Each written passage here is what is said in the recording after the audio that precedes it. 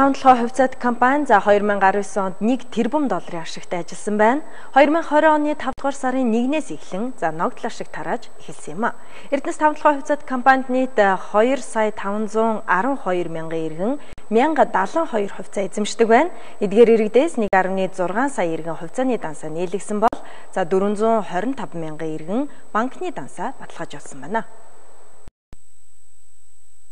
Банкны дансаа баталгаажуулсан ирээдүйн ногдол ашгийг шилжүүлэхэд бэлэн болжээ. Харин үлдсэн хүмүүс буюу банкны дансаа баталгаажуулаагүй иргэд хувьцааны данс нэлгсэн брокерийн компанитайгаа холбогдсон нэмж мэдүүлэх идэвхтэй болсон эцэг шалгах шаардлагатай. Хэрэв хувьцааны дансаа нэлгэхгүй бол нэмэгдсэн үртийн албан татварыг буцаан олголт авдаг дансаараа хувьцааны ногдол ашиг авах боломжтой. Хувьцааны дансны үйл ажиллагаанд бол иргэдээс 5000 орчим төгрөгийн шимтгэлийг бол брокерийн компаниуд авч ирсэн.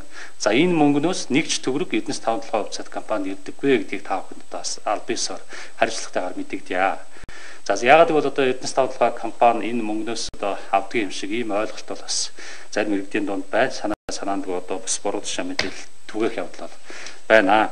За тэгэхээр энэ 5000 төгрөг юун зарцуулах юм бэ гэхээр үнд цаасны төвлөрсөн хадгаламжийн төв болон одоо тухайн брокерийн компани үйл ажиллагааны зардалд бол зарцуулагдаж байгаа. Нэмэгцэн өртгийн албан татварын буцаан олголт авдаг данстай 1 сая 300 мянган хүн байна. Үлдсэн иргэдийн 500 орчим мянган хүүхэд байгаа тул хүүхдийн мөнгө авдаг дансаар нь авах боломж бүрдүүлсэн байна. За тиймээс нэмэгцэн өртгийн албан татварын буцаан олголт авдаг данс болон хүүхдийн мөнгө авдаг данстай бол хувьцааны данс нийлгэх шаардлагагүй юм.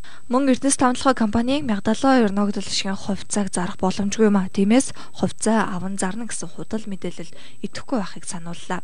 Түнчлэн нас орсон иргэдийн хувьцааны ногдол ногдол ашгийг олгохгүй юм а.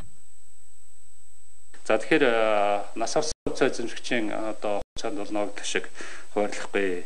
Улсын бүртгэлийн ерөнхий газраас авсан мэдээллээр бол одоо 70 мянга орчим ийм хувьцаа эзэмшигч иргэн нас орсон гэсэн ийм мэдээлэлтэй байгаа.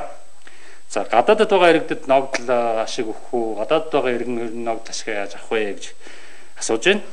За хэрвээ тухайн иргэн 1072 хувьцаатай За тэгээд хувьцааны дансаа нийлгээд банкны дансаа баталгаажуулсан бол асуудал байхгүй. Тэр дансанд номдол ашиг орно. За эсвэл одоо нөөтийн буцаа олголт авдаг и баримт аппликейшн хэрэглэдэг гэсэн үг. Ийм болвол одоо тэр дансаараа ногдол ашиг авч болно. За хэрвээ Монголд банкны дансгүй бол ногдол ашиг авах боломж бол байхгүй байгаа гэдгийг бас хэлье.